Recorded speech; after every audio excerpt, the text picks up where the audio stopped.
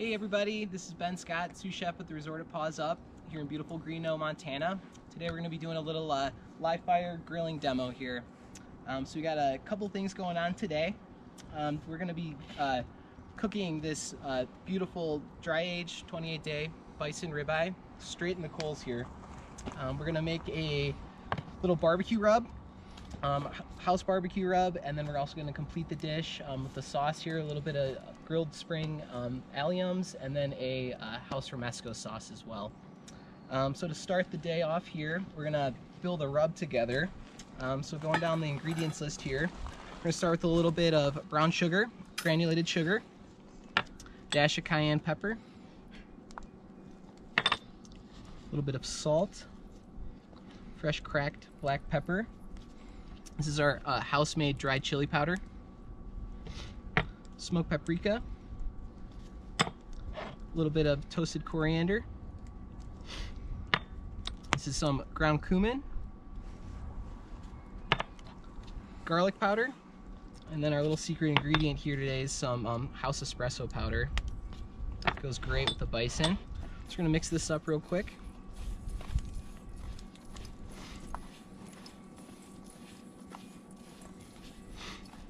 Okay, now we're gonna go very heavy on the seasoning here. We are cooking straight in the coals today, so we want this, um, the sugars and all the mesquite in the fire to really give us some nice caramelization here. So we're gonna go very heavy on this seasoning. The seasoning we use um, for all sorts of stuff at the resort. Um, grilling steaks, uh, we'll rub it on our brisket, some of our smoked ribs. It's quite versatile.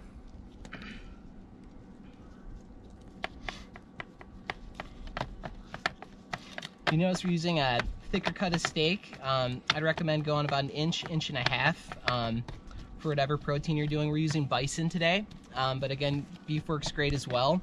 Um, the reason why we're using a thicker cut is because this is going directly in the coals. So a thinner cut's gonna um, cook very quickly. We want this to be a nice, rare, medium rare finished product, okay?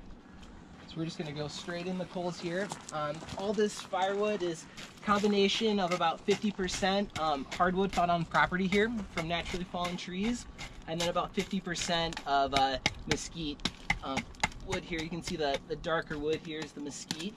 Um, classic barbecue hardwood. Um, it's big in Texas. We use it here all the time. It's great, great tasting wood, and what's gonna do is almost season um, the protein as well. So we're gonna go straight in there.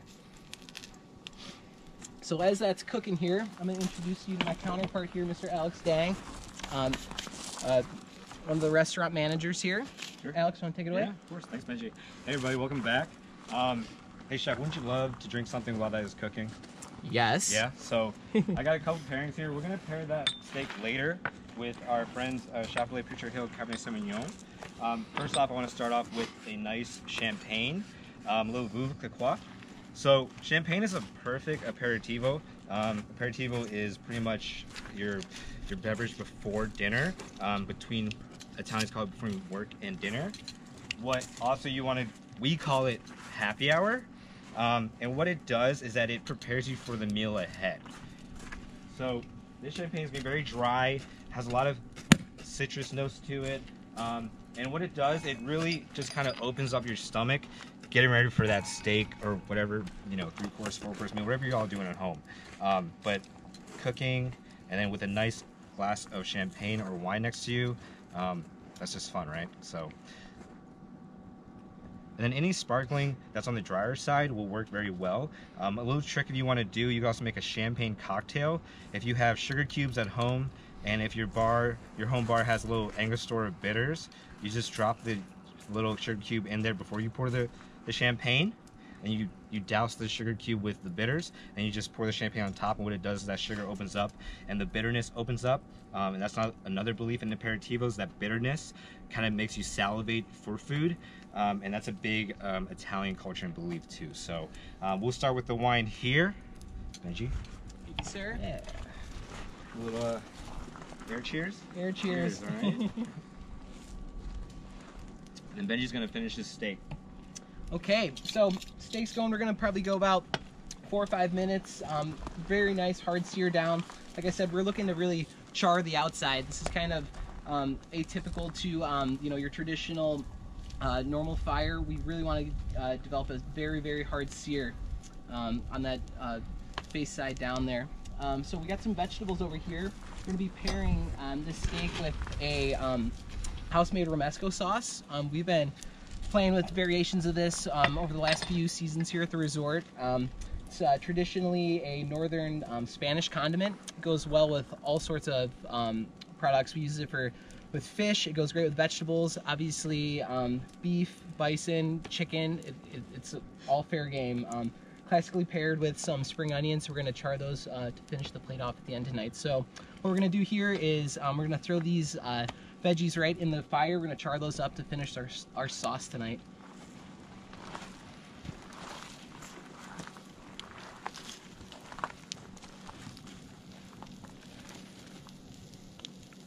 So we've got some Roma tomatoes, um, some red bell peppers, uh, a few jalapenos kick it up the spice level a little bit. And obviously some um, yellow onions. Gonna let these char and so get on the outside, they're gonna look a little uh, overdone, a little bit burnt, but they're actually roasting on the inside. It's gonna be this nice, fluffy, um, delicious, tender inside. Check on our steak here.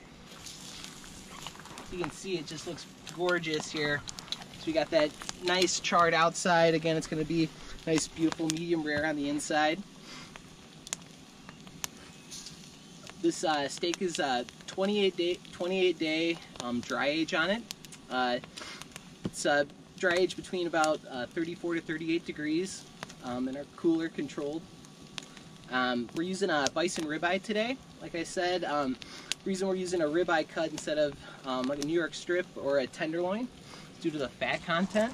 Um, so what we were looking for high fat, um, this steak is going to be excellent over this high heat cookery. Again, um, as compared to like a tenderloin, um, a little leaner cut uh, it tends to dry out a little bit more in this sort of um, cookery. So we're looking for, again, that nice high fat.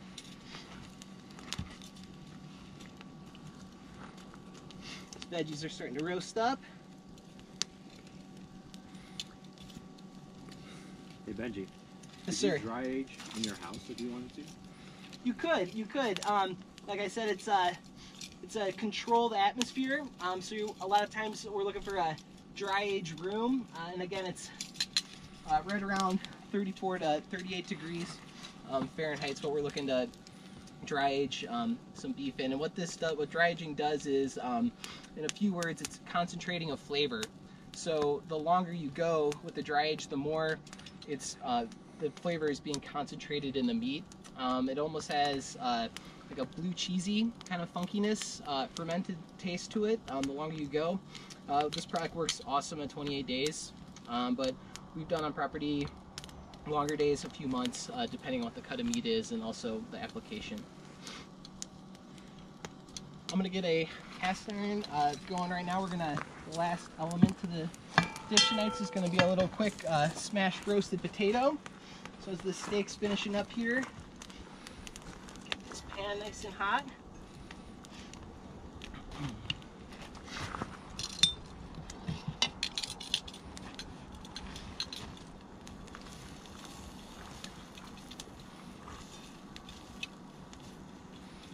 Steak's gonna be delicious. It's just about there.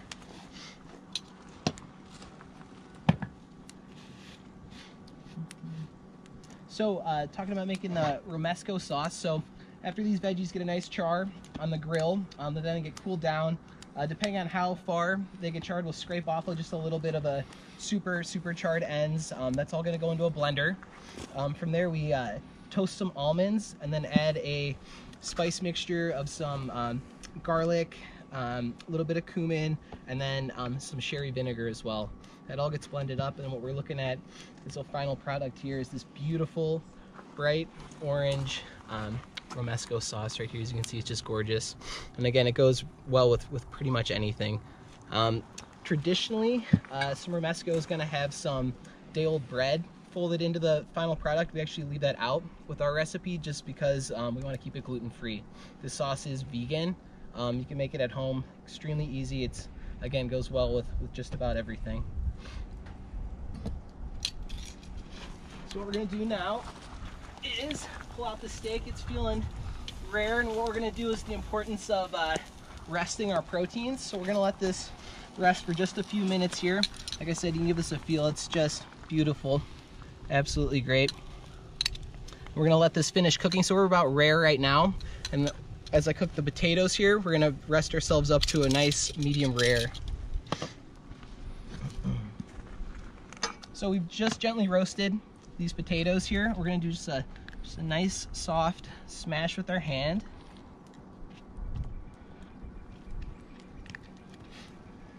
A little bit of canola oil.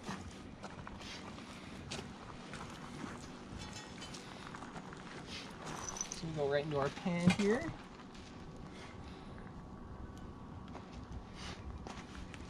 Then we're just gonna do a very quick two to three minute, very high heat sear on these potatoes, get some nice golden color on them as this steak is resting. We're also gonna throw in some spring onion into the mix, classic pairing with some romesco here. And we're just gonna fire these right, right in the coals as well.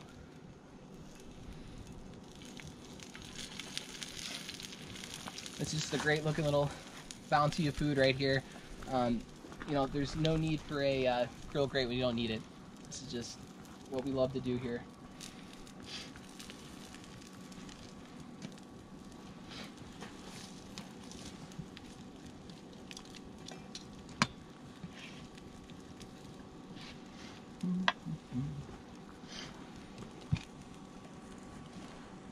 How long would you let the steak rest? We're gonna let this rest for about four to five minutes. Um, it's gonna uh, go up in temperature about five de- or uh, one degree every every minute or so. So we're looking for a nice nice medium rare on here. Alex, you want to talk about the our last wine as we're course. resting here? Sure. So I brought um, a little wine from our friends from Chappellet, Dom and Amy. Um, this is their Pritchard Hill Cabernet Sauvignon. Um, and then I would always like to go with the classic pairing of steak with cab. Um, but there really is no set rule of how you pair wine. Um, but however, I like to pair this because this has notes of high tannin. It's very full body. It's gonna hold on to that that fat. It's gonna compare that very well, and that fat in that steak is gonna bring out a lot of the spices um, in the wine as well too. So you're gonna have what was what you have there a little espresso in there as well Yes, in that rub. So this does finish with a little bit of um, espresso at the end too. So that's gonna kind of bring out that espresso rub in the barbecue rub.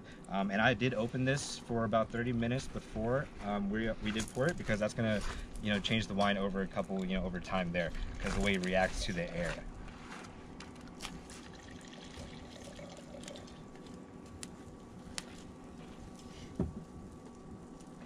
And if you're looking to pair something with the champagne, um, my rule of life is uh, burgers and bubbles. Fried chicken and champagne um, is one of the best pairings in the world. And um, that's a sneak peek to something we'll be doing um, later in the week, next week, or in two weeks or so. So, um, right here, classic Cabernet Sauvignon and ribeye. It's usually what I go to when we do steaks. And when I ask about any wine pairings at the restaurants or anything. So, cheers, man. Thank you. All right, so let's finish the plate here. So I just pulled off the charred onions. Like I said again, it's got some of that mesquite on there. It's gonna be a great little char flavor to the end result of the dish. So very simply here, you're gonna plate up.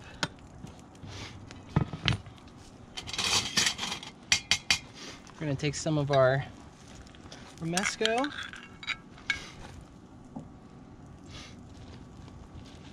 Beautiful contrast from the stainless color here. Gonna slice our steaks. We're gonna go right down the bone here.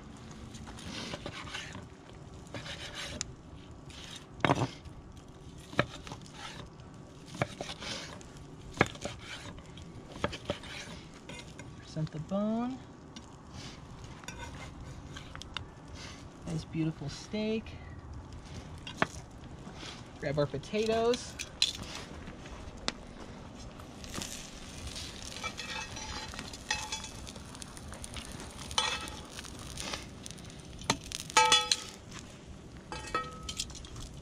We're just gonna finish with a little bit of scallion right on top. That right here It's a little dry aged bison ribeye cooked in the open coals here at the Resort of Paws up in Montana.